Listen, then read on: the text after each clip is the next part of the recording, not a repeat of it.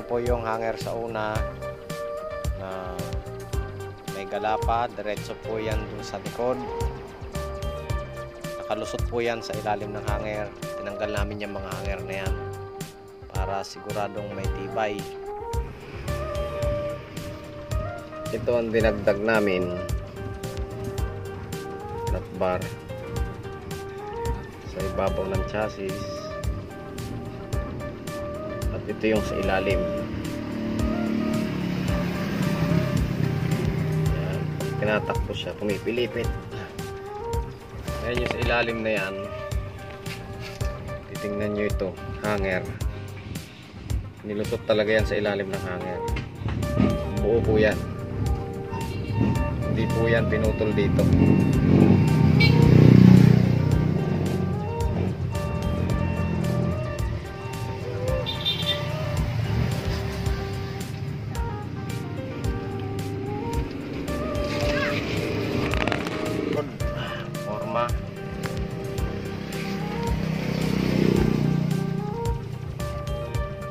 pailalim yan sa hanger.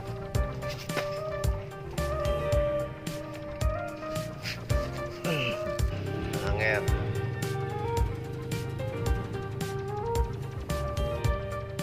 Straight po yung galapan yan hanggang doon sa una.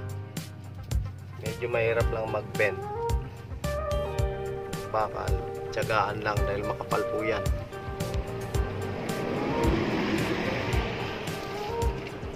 yung isa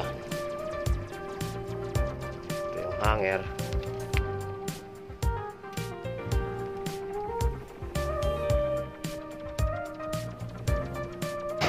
ito na po yari na ang truck na ito pwede na po yan ibiyahe Hihintay na lang po ang may-ari nito. Parada muna po natin sa labas. Yari na siya.